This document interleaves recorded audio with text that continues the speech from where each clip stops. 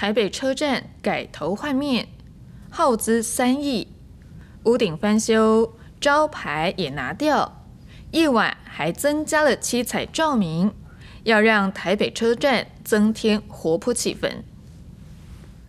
七彩的灯光随着时间变化，夜晚的台北车站变得很不一样。为了欢庆一百二十五周年，台北车站耗资超过三亿元。从去年五月开始拉皮整修，屋顶翻修，招牌也拿掉。最特别的就是增加了夜晚七彩照明，还比照台北一零一，星期一到星期天会有不一样的颜色灯光。这样很好啊，因为让人家对于晚上的视线可以更多元一点。国外的朋友来到这边的话。他他他一定会来造我们的台北车站啊，对啊，那会很好，成为很好的地标。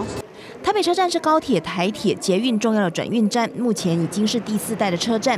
整个大楼使用超过二十年，像是屋顶面板与防水层都出现褪色、破裂等老化的现象，排水管也有多处破损阻塞。尤其到了晚上，整个台北车站变得相当暗，四周也只有路灯。因此，利用这一次的大翻修，将照明范围也纳入四周屋檐下的人行空间，新面貌也给民众不一样的美感。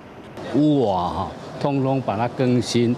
那过去是一片一片的接，那现在我们是连接式的哈，啊，这个连接的，所以说未来这个应该不会哈再有这个啊这个漏水的这个状况。我们七彩红橙黄绿蓝靛紫啊，重要的节庆的时候来啊，整个就啊展现出来。而台铁局今天也预告，位在台北车站的台铁局局本部，预计二零二一年搬到正在进行都更的前南港吊车厂，让位在金华区的台北车站做更有效益的商业使用。记者魏尔林国黄台报道。